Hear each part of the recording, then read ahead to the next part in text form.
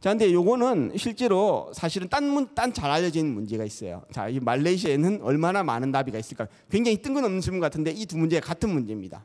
나비 개수 세는 거 하고요. 그 다음에 이제 섹스피어 작품에서 단어가 얼마나 많이 나오냐. 그게 같은 문제입니다. 자, 이게 뭐냐면요. 어, 영국의 곤충학자 실화입니다. 알렉산더 코벳이 2차 세계대전 기간 동 말레이시아에서 2년 동안 나비를 다양한 나비를 수집했어요. 그랬는데 이제 그 중에 한 118종은 굉장히 드물어서 한 번만 채집했고 74종은 두 번만 했는데 요게 이제 2년 동안 잡힌 횟수죠. 그러니까 한 번만 잡힌 애가 118번, 두 번만 잡힌 게 74번, 세 번 잡힌 거 뭐 한 20번 이렇게 잡히는 굉장히 흔한 애들이란 거죠. 근데 이 사람이 내가 한 1년 정도 더 있으면은 나비를 더 잡을 텐데 그럼 그 중에 혹시 희귀한 걸 좀 더 잡을 수 있지 않을까? 한 번도 안 잡은 애. 그걸 알고 싶은 거예요. 내가 1년 더 있어 가지고 새로 잠 새로 추가하는 나비가 몇 마리나 있을까? 그걸 알고 싶었는데 그러니까 표에는 아까 보면 0번인 게 몇 마리인지가 안 나와 있잖아요. 그러니까 0번이 몇 마리냐? 한 번도 안 잡힌 게 몇 마리냐? 야, 그래서 이걸 가지고 missing species problem이라고 그러는데 다행히 코벳은 이 문제를 잘 해결할 수 있는 사람이 아닌데 이게 통계학의 아버지라고 불리는 R.A. 피셔 경입니다. 그래서 R.A. 피셔가 어떻게 했냐면 내가 T라는 추가 기간이 있으면은 이때 새롭게 발견된 나비 종이 몇 개냐 이걸 계산하는 방법을 구했어요. 자, 요 방법에 대해서 강의를 하면 굉장히 길어지기 때문에 제가 상세한 건 생략하고요. 근데 이걸 가지고 어떻게 쓸 수 있냐면은 그래서 아까 맨 처음 얘기했던 Shall I die 같은 경우 1985년에 섹스피어 작품이라고 의심되는 아주 짧은 시가 있었는데 이게 옥스퍼드 대학 도서관에서 발견이 됩니다. 시는 총 429개의 단어로 구성이 되어 있는데 이게 생태계 문제로 생각한다면 아까는 2년 동안 있었는데 1년 더 있었으면은 쉽게 말해서 기간이 그 자기가 원래 있었던 거에 0.5만큼 있었던 기간이죠. 아까 T라는 기간이. 근데 이거는 429개면 내가 아까 88만 개 정도의 단어가 있었는데 그 비율입니다. 429개 새로 추가됐으니까. 아까는 2년 있다가 1년이 추가됐는데 지금은 8만, 88만 4,647개의 단어 중에 429개가 추가된 거죠. 자, 이렇게 됐을 때 새로 등장할 것으로 예상되는 나비의 단어의 개수는 몇 개냐 했더니 6.97개. 그게 이제 저희 모델이었고요. 근데 실제로 해봤더니 섹스피어 한, 한 번도 안 썼던 단어가 아홉 개 나왔어요. 그러니까 일곱 개라고 예측을 지금 통계학적인 모형으로 했는데 아홉 개라고 나왔습니다.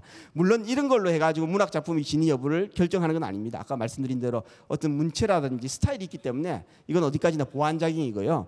여기에 대해서는 아직도 이제 진위 여부에 대해서는 많은 전문가들이 판단을 유보하고 있는데 최소한 통계학적인 측면에서는 우리가 일곱 개라고 예상을 했고 실제로 아홉 개가 나왔다. 그렇기 때문에 아주 굉장히 떨어진 게 아니니까 어느 정도 여전히 이제 작품이 어, 그 섹스피어가 쓴 작품일 가능성에 대해서 무게를 싣고 있는 거죠.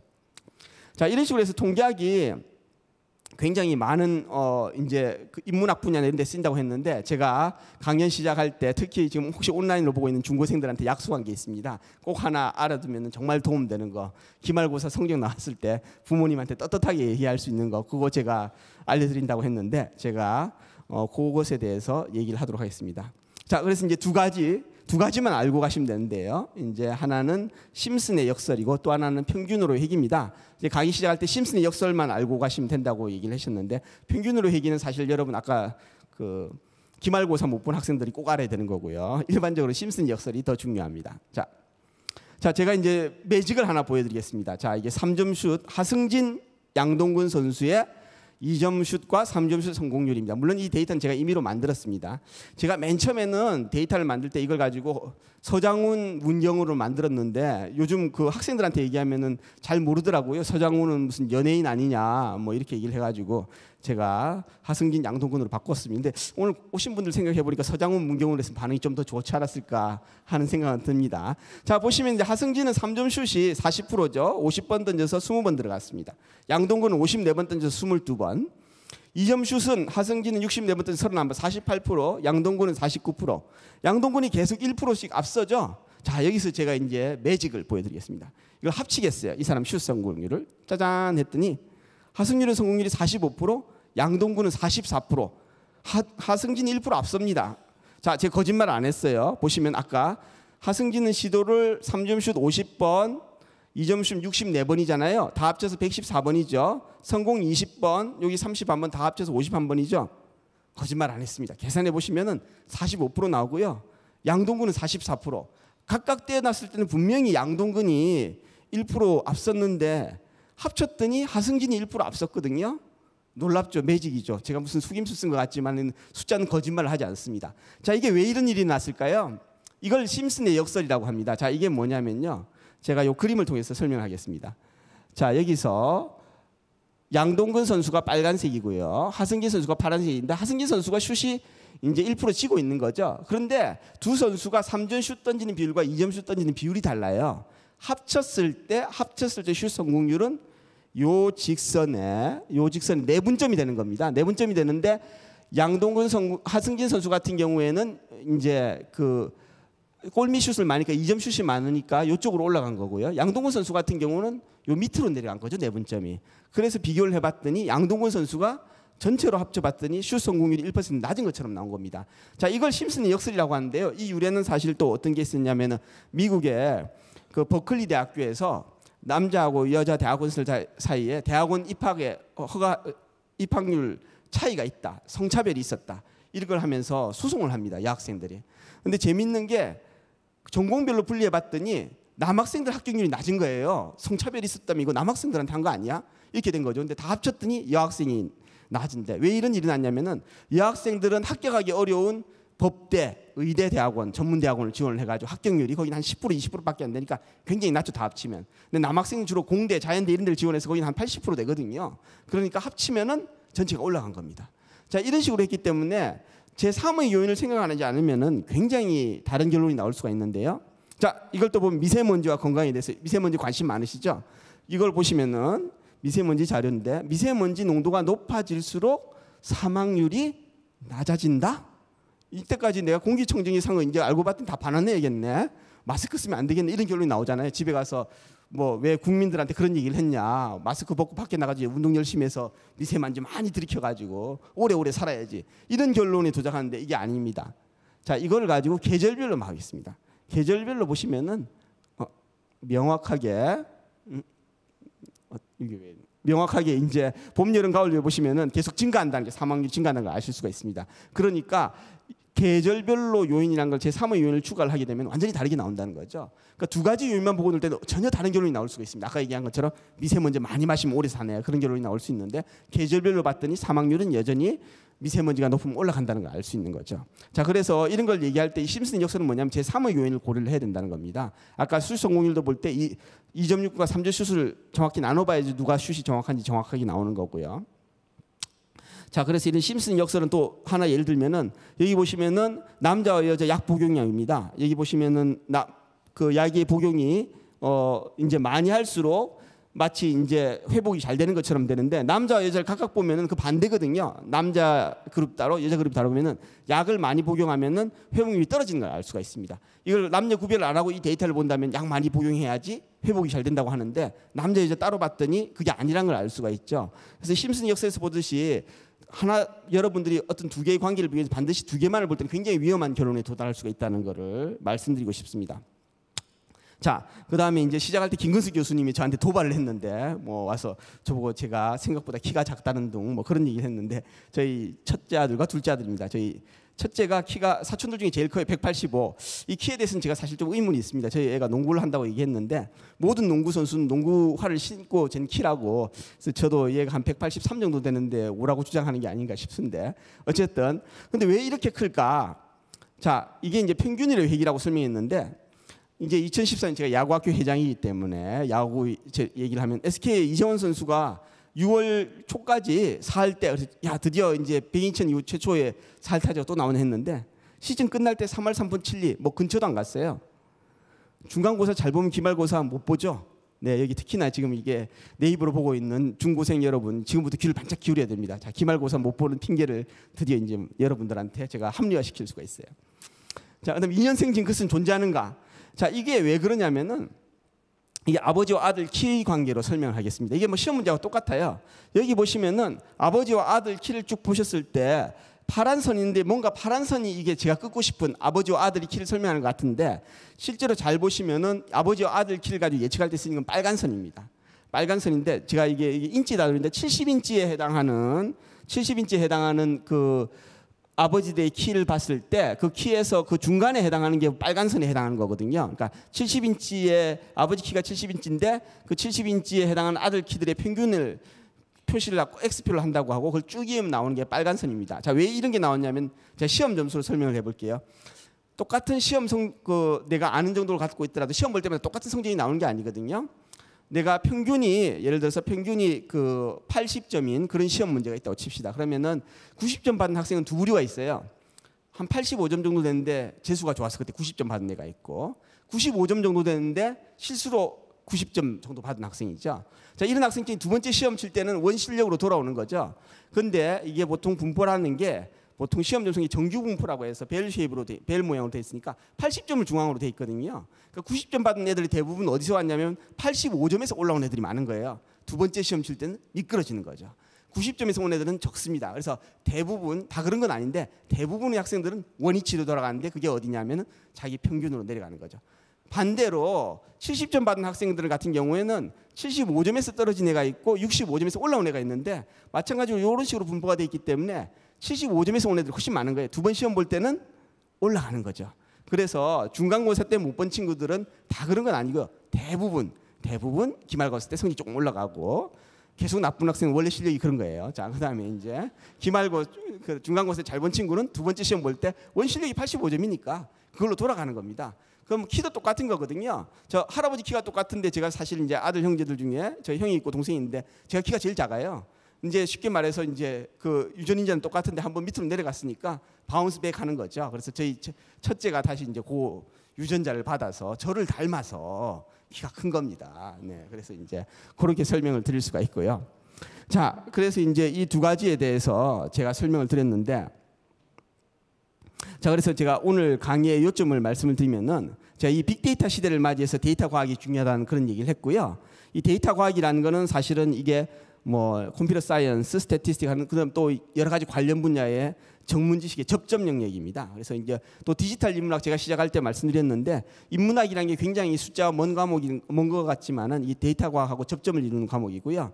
제가 또 스타워즈 팬이라서 마지막은 스타워즈에서 빌린 얼굴로 어, 마치도록 하겠습니다. May the data be with you. 네, 이걸로 제가 마치겠습니다. 감사합니다. 네, 어, 정말 재미있는 강연 들려주신 교수님께 다시 한번 큰 박수 부탁드리겠습니다. 아, 네. 어, 우선 뭐 키에 대한 의문은 완벽하게 풀린 것 같습니다.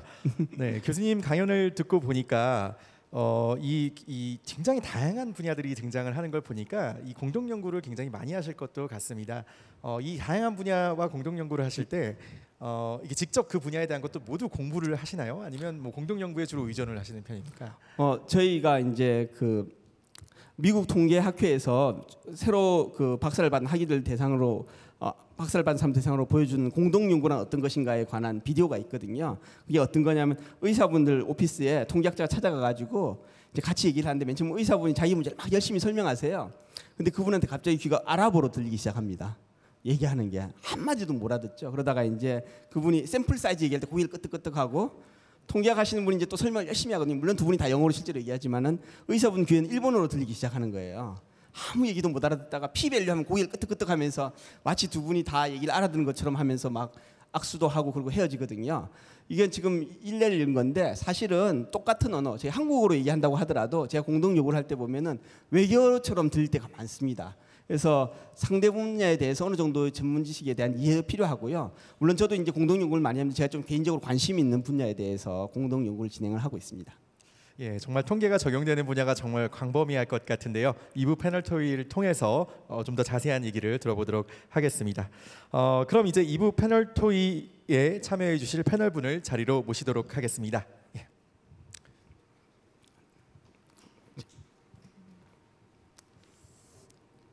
네. 어, 2부를 어, 함께 이끌어 주실 분들 소개를 제가 드리겠습니다. 먼저 제 옆에는 오늘 패널 토의를 위해 수고해 주실 서울대 통계학과의 임채영 교수님입니다. 네, 안녕하세요.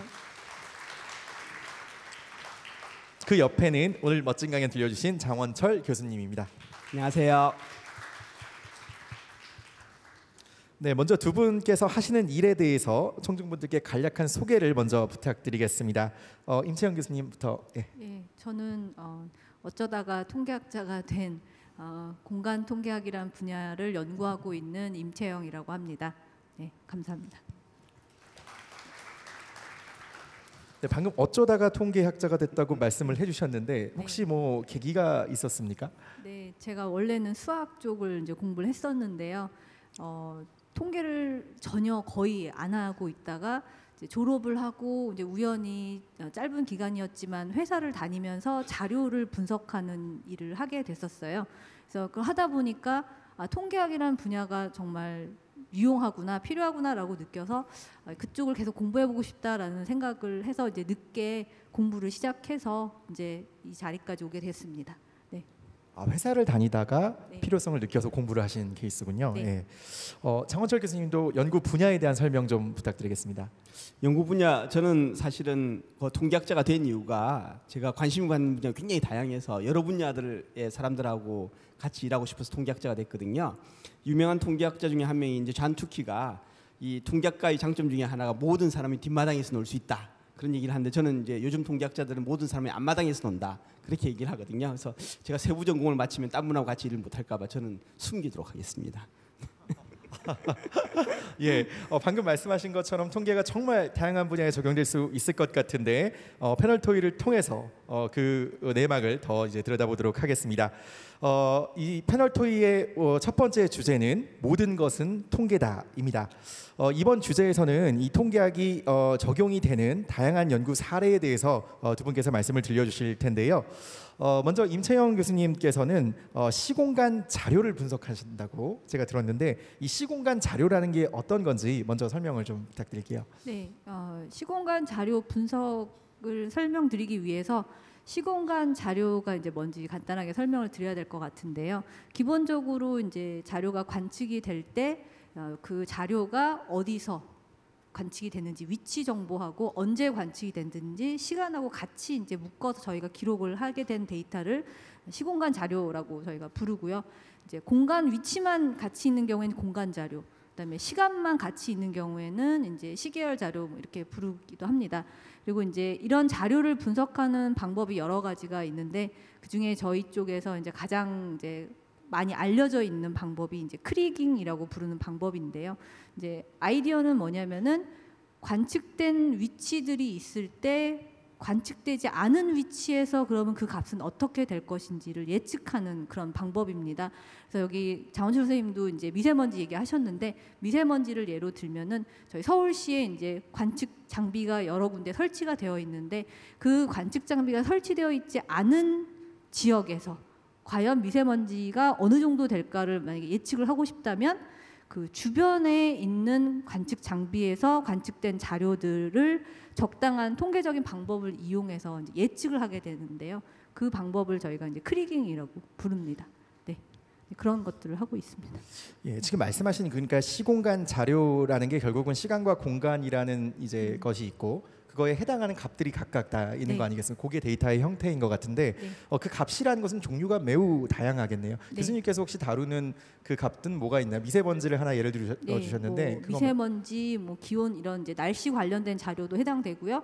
그 다음에 특정 위치가 아니라 지역으로 본다면은 뭐 각 동별, 뭐 구별, 뭐 그 뭐 범죄 발생률이라든지 뭐 뭐 실업률, 뭐 이런 경제학적인 자료도 저희가 이제 공간 자료로 보고요. 그다음에 뭐 여기 말씀하신 독감 같은 경우에도 독감이 실제로 일어난 사람이 사는 이제 집 주소를 안다 그러면 이제 그 위치들이 또 이제 표시가 될 텐데 그런 종류도 공간 자료로 볼 수 있습니다. 저도 공간 자료 하는 게 딱 하나 있는데요. 저는 이제 천문학 하시는 분들하고 같이 공동 연구를 하는데 천문학에서 예를 들어 별을 보면은 별이 멀리서 있는 별은 굉장히 오래 걸리지 않습니까? 어떻게 보면 시간의 정보도 포함을 하고 있는 거죠. 그래서 만약에 천문학에서 이제 그 우주의 지도를 그린다면은 그게 우주의 역사도 얘기를 해주는 거거든요. 그래서 이제 이 가까이에 보면은 소위 말하면 굉장히 많은 우주의 구조들이 있습니다. 근데 멀리 가면은 굉장히 그 초창기 우주라서 빅뱅이 막 생길 때 우주라서 아무 구조가 없거든요. 그래서 구조가 굉장히 균일하게 보이거든요. 그래서 어떤 그 경계가 있는데 그 경계점을 발견한다면은 우주의 나이 같은 것도 알 수가 있는 거죠. 뭐 그런 것도 어떻게 보면 이제 공간 자료인데 시간의 정보도 포함한 어떤 의미에서 시공간 자료라도 할 수 있지 않을까요? 통계학을 이용해서 다른 기초과학 학문도 분석이 가능한 거군요. 예. 네. 어, 그럼 이게 보통 저희가 통계학과라고 하면 교수님들께서 연구하는 그 통계학이라는 것이 좀 다른 건가요? 이 지금 말씀하신 게 전부 다 어, 보통 통계학에서 얘기하는 그 통계학이라는 것입니까? 보통 통계학에서 얘기하는 통계학은 제가 볼 때 이제 이론적인 부분들을 말씀하시는 것 같은데 이제 이론적인 부분은 좀 더 이제 수학적으로 뭔가를 증명하는 쪽이 되는데요. 그것도 단순히 그거 독립적으로 그것만 본다기보다는 이런 아까 말씀하신 그런 어떤 질문이 있을 때 그걸 풀어나가는 과정에서 나오는 그 통계학을 분석한 결과가 이론적으로 타당한 거냐를 검증하기 위한 이론을 할 때 이제 통계학 분야가 또 더 들어가게 되고요. 하지만 항상 이렇게 그 응용적인 부분에서의 시작해서 이제 저희 통계 쪽의 이론이 접목되는 그런 형태로 볼 수 있을 것 같습니다. 그럼 아까 말씀하신 그 시공간 자료라는 게 오늘 아까 소개해 주신 그런 디지털 인문학에도 적용이 가능한 건가요?